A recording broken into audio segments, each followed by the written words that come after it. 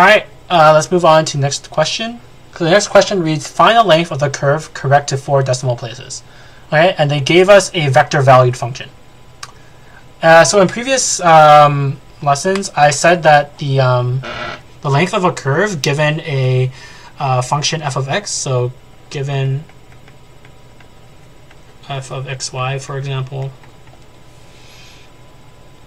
mm, the uh, length of a curve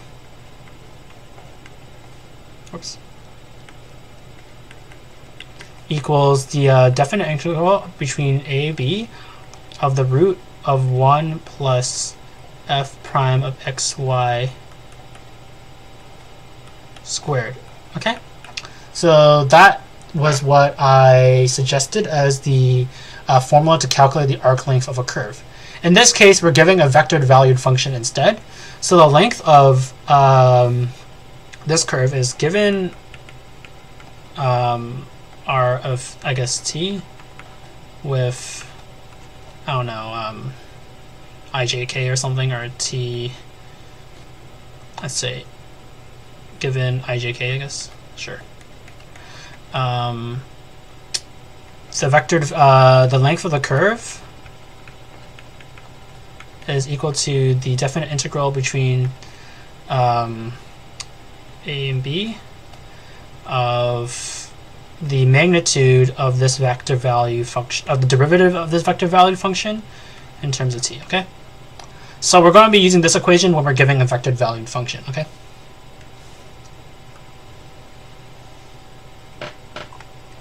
All right, so first thing, first things first, we're going to define r of t. So r of t is equal to, it's a three-dimensional vector where x, y, and z, the, the, directions are t, e, e negative t, and t times e to the power of negative t. And we want it between the interval 1 and 3, okay? So first things first, we're going to derive everything in terms of dt. So that would equal to d of dt of t, d of dt of e to the power of negative t, and d of dt of t times e to the power of negative t. Okay. If we were to calculate this, uh, these uh, derivatives, it would be 1 negative e to the power of ne uh, negative t, and uh, you're using the product rule here, so e to the power of negative t uh, minus t times e to the power of negative t. Okay. Now we're going to calculate using the uh, formula here. So the um, the magnitude of r prime t is root of wow that was so bad. Root of 1 squared plus uh, this should be a minus 1 squared minus e uh,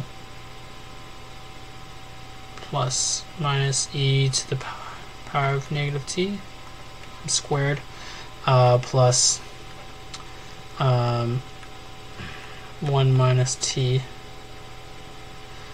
times e to the power of negative t uh, squared. Okay?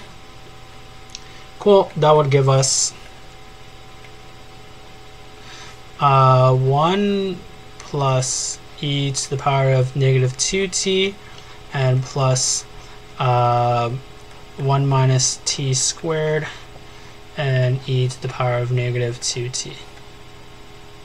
Okay, cool. And now we're going to calculate the definite integral of this. Um, so the definite integral of this is we're just going to plug in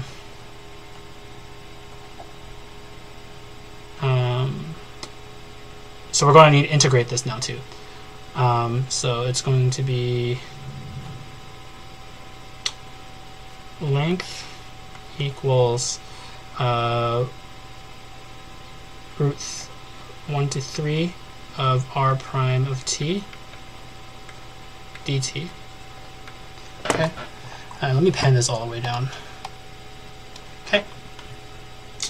And that equals to um, integral of 3 of 1 and 1 plus uh, 2 minus 2t plus t squared. Okay. Alright, cool. Uh, so this integral is pretty hard to calculate. Um, so we're just going to use integral calculator here. And the value that we get for that is um, L is approximately 2.0454. Okay. Uh, so this integral is pretty hard to calculate. Um, so we just use the integral calculator to calculate the value here. So that's how you find the length of the curve, correct to four decimal places. Okay. Uh, so this solution is correct.